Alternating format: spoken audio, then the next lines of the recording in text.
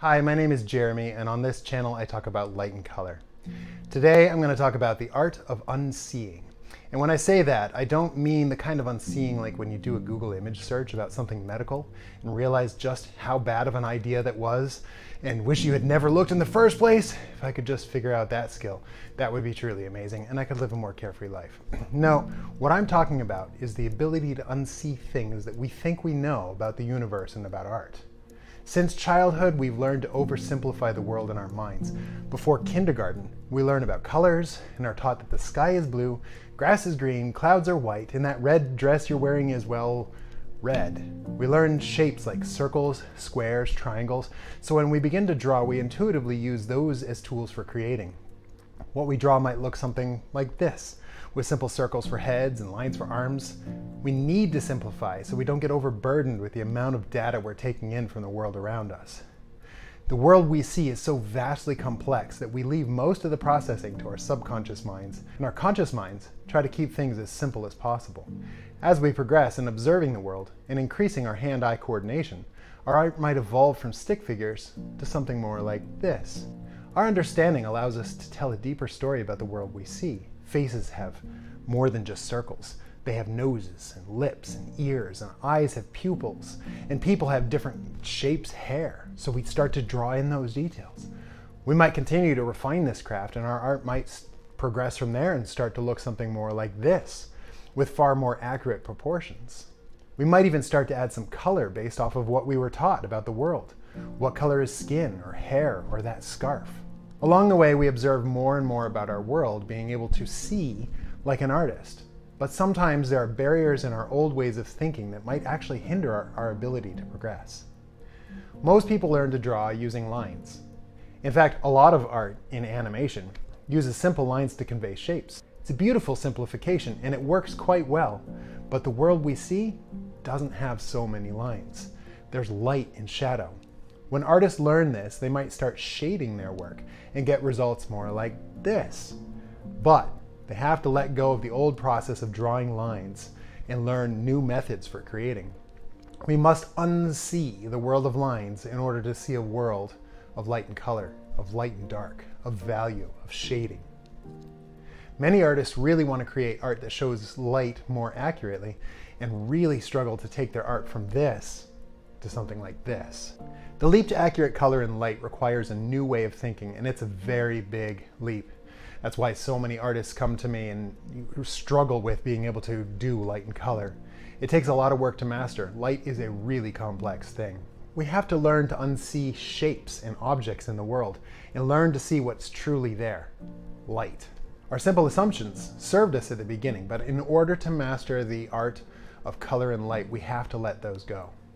When I look at a photo like this, I might make an assumption that leaves are green and that wood of a tree is brown.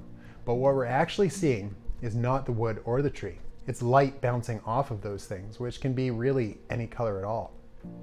Look at how much the colors change in the same location simply by the light at different times of day and year. We have to stop seeing those as objects and start seeing light. So Again, my first tip in unseeing is learning to unsee objects. Throw out all thinking of objects altogether and learn to observe colors. What color is here? Just paint that. Don't paint trees or leaves or sky. Paint the light you see reflecting off of those objects. When painting a face, learn to unsee details like eyes, ears, nose, mouth, lips. What is the general color of the light that comes in and wraps around a face? Paint that first. This is what makes this so difficult, is that we progressed in the past to go from circles and then seeing details. Now we have to unsee those details temporarily in order to be able to see the light and that'll take our paintings to the next level.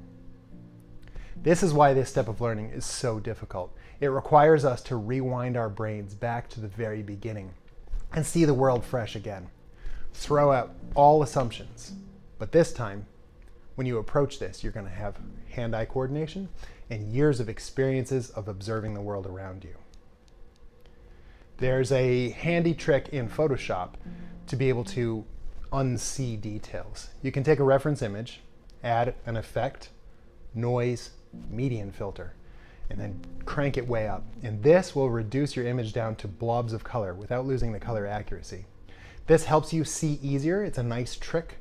Um, but eventually, you want to learn to be able to do this in your own head. So when you see an image, you can do this automatically and unsee the details and just focus in on the color and light.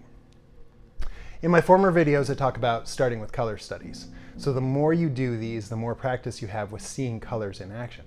But after a while, I hope you start to observe some more themes. Just like you have to learn to unsee objects, we also need to learn to break light into smaller pieces and see each piece individually. Just like we simplified the world down to stick figures as a child, we can simplify light into easier components too. So today I'm going to talk about six simple components of light. I'm just going to scratch the surface here um, as these are big components. And I'm going to talk in future videos about each of these. But I want you to first think about taking those assumptions of art when you were a child, throwing those out and building a new base. So you go from lines and then you go to shading. Now we're going to go to light. You have to unsee those lines and those shadings. You're going to have to unsee objects and then you can even take light and break it into smaller components. So let me touch on these. Number one, diffuse light. This is light bouncing off of most surfaces. It's what's a most common form of light that we see, and it's where I start each painting. I unsee everything else, and I focus just in on the diffuse light. This is the blobs of color stage. Almost all of my paintings start this way, with just seeing big swaths of colored light. Atmosphere. This is number two. This is where light is scattering through the air and it's one of the most powerful tools for creative illustration. Often atmosphere is more present than local colors of an object. So when I say that, I mean atmosphere can change the colors. You can turn a green leaf into something kind of blue over distance. It can, it can alter colors, browns and warms and reds, and it changes them over distance. So this is a powerful tool. Pay attention to that. That's the light bouncing off of the atmosphere that will change objects, you know, it, changes the sky, all kinds of crazy colors. I definitely want to make an entire video about this one as it's really a potent tool for adding depth to our art. The third area of light that we should break into pieces is primary reflections. These are often called highlights, and it behaves slightly different from diffuse light as it changes based on the angle from the observer to the object. These are the reflections of only the brightest light source as seen on most surfaces. Here are some examples of highlights, like right here, and right here. These are primary reflections, sometimes called specular hits or specular highlights. I observe these early on when I'm doing a color study or a painting, but I often save them for later because I want to paint that base diffuse layer, then get the atmosphere, then add these primary reflections. Then I look for subsurface. You'll hear me say subsurface. And this is when light bounces inside of an object, through an object. It's make, it makes light glow in interesting ways.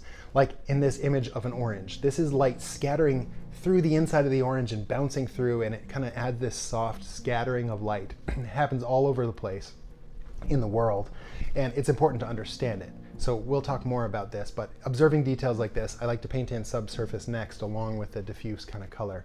It's a beautiful tool that many artists often exaggerate, which allows us to add rich color, uh, you know, into uh, otherwise simplified colored scenes. And then the, the fifth, secondary reflections.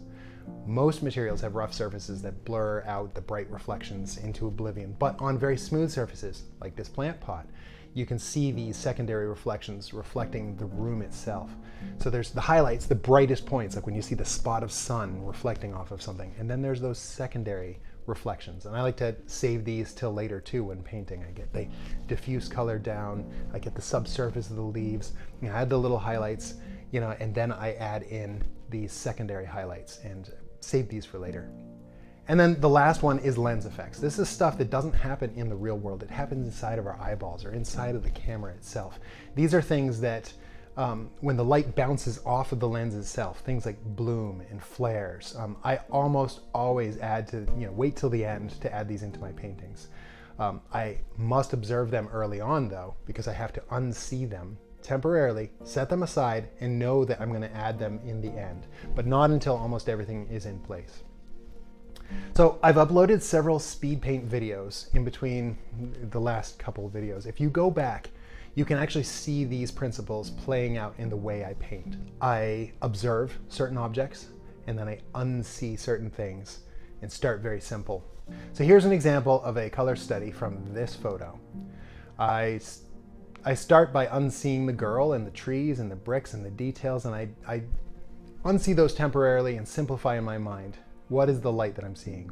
And only after I've accurately achieved observing the desired colors do I go back and start to paint details like the bricks or the girl at the center of the photo. I unsee those big details in order to get into the little things and start with light in layers. So to sum up, first learn to see the world as light rather than a bunch of objects. Unsee details and add them later. I highly encourage uh, practice with color studies. Then try painting with lights split into layers. Diffuse, atmosphere, primary reflections, subsurface, secondary reflections, and then lens effects. I hope this is helpful. If you have any questions, ask in the comments. I really do read them. And uh, I will do more videos to talk about each of these in more detail. Thanks for watching. Keep creating.